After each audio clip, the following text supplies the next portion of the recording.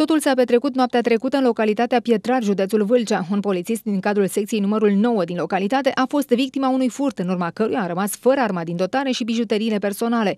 Anunțul a fost făcut chiar de agentul păgubit care și-a alertat colegii. Femeia nu se afla acasă în momentul în care hoții au pătruns în locuință. La data de 3 februarie 2019, polițiștii din cadrul secției numărul 9 Pietrari au fost sesizați cu privire la faptul că în locuința unui polițist din cadrul secției ar fi pătruns persoane necunoscute, de unde ar fi sustras bijuterii și armamentul de serviciu din dotarea polițistului. Imediat au fost mobilizate toate efectivele în vederea efectuării de cercetări, a precizat purtătorul de cuvânt al Lipe Vâlcea, Cătălin Udrea. Oamenii legii spun că au deja un cerc de suspecți. Aceștia încearcă să dea de urma hoților și să recupereze pistolul polițistei. În ceea ce privește modul de păstrare al armamentului, în cadrul Inspectoratului Județean de Poliție Vâlcea s-a demarat o anchetă internă.